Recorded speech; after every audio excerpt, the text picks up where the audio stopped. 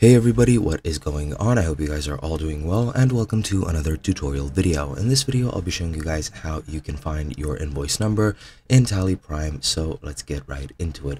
Now, I won't be exactly explaining how you can create your invoice. As you can see on my screen, I only have an example of an invoice on my screen, and I'll be using this to show you where to find it. However, you do have other tutorials online, even some on our channel, which are related to actually creating invoices in Tally Prime, such as e-invoices for taxes and such. Uh, mostly, you have to be connected to the IRP to actually be able to create an e-invoice, and then you need to enable the creation of e-invoices on Tally Prime, and I do have another tutorial that I have made on that topic, so make sure to check it out. But once you know how to do it and once you've created your own invoice you should get something like this now we can see a couple of things on this invoice you have your IRN uh, the account number the account date and so on and so forth uh, or whatever that abbreviation is you have the QR code and you have all these all this uh, information here.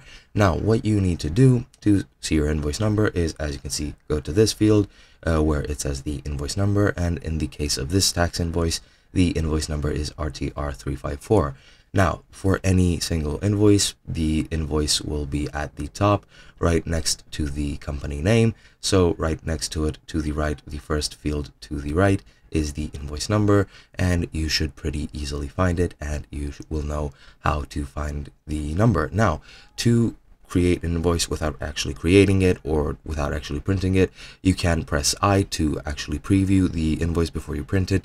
So make sure you do that and to configure any other things you might need, press C and the configuration window should open. But all in all, that's pretty much it for, the, for this tutorial. Hope you guys enjoyed and I'll be seeing you guys next time.